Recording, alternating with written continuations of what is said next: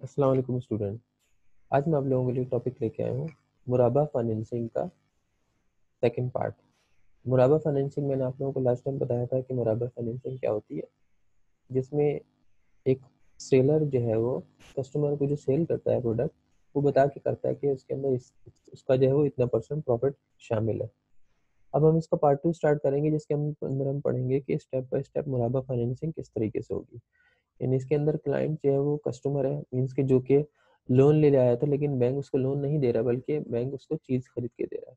यानी वो उसको प्रोडक्ट खरीद करके दे रहा है एक तरह से सप्लायर का जो है किरदार अदा कर रहा है और उसको उसके बदले में पैसे मिल रहे हैं और प्रॉफिट मिल रहा है। तो अब एक बैंक के पास कस्टमर आए क्लाइंट तो वो क्या करेगा कि उसके साथ एग्रीमेंट करेगा। जैसे कि इसमें लिखा हुआ है कि the client and institution sign an overall agreement where by the institution. Institution means ke bank. Promises to sell and the client promise to buy the commodity from time to time on an agreed ratio of profit added to the cost. This agreement may specify the limit up to which the facility may be availed. यानी client एक bank bank के पास आया और उससे agreement किया कि वो उससे क्या करेगा चीज़ जो है वो खरीदेगा ठीक है और उस बैंक ने, यानी इंस्टीट्यूशन ने प्रॉमिस किया कि वो क्या करेगा? चीज़ सेल करेगा। उसके लिए एग्रीमेंट कर लिया जाता है कि दो साल के लिए, तीन साल के लिए, चार साल तक के लिए जो है वो उससे चीज़ें खरीदता रहेगा और स्टेप बाय स्टेप खरीदता रहेगा और उनको बाद में पैसे देता रहेगा। और जो सेलर है, यानी बैंक जो है, वो क्या करता जा रहा है? प्रॉफिट कमाता जा रहा है। तो बैंक जो है वो किरदार यहाँ पे अदा कर रहा है एजेंसी का सॉरी इसका इंस्टीट्यूशन का।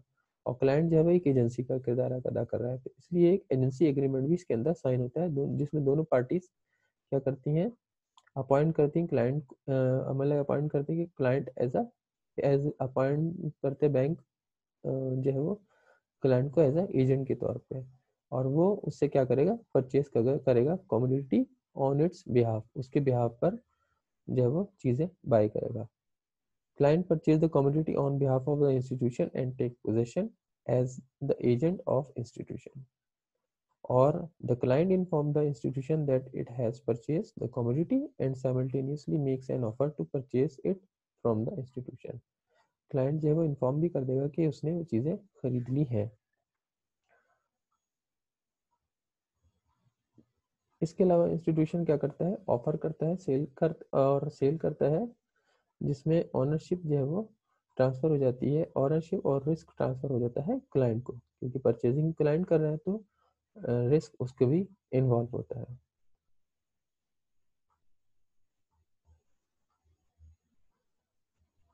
अब कुछ असेंशियल होती हैं, जिसमें इश्यूज़ आ जाते हैं कि जैसे के मुराबा में इश्यूज़ क्या है कि एक तो ये कि सिक्योरिटी प्रोवाइड किया है अगेंस्ट मुराबा के और गारंटिंग द मुराबा। और उसके लिए मुराबा के फाइनेंसिंग के लिए गारंटर भी पेश किया जाए। तो बैंक ये कहता है कि गारंटी भी दें और सिक्योरिटी प्रोवाइड करें। सिक्योरिटी हो सकती है in the form of mortgage के तौर पे और गारंटी जो है वो किसी थर्ड पार्टी की हो सकती है जिसके बिहाफ पर बैंक उसको चीज़ें सेल करेगा और पेमेंट उससे स्टेप बाय स्टेप लेता रहेगा। तो ये था हमारा आज का टॉपिक उम्मीद है आप लोगों को पसंद आया होगा। और नेक्स्ट तक के लिए इजाज़त दीजिए। अल्लाह हाफिज़।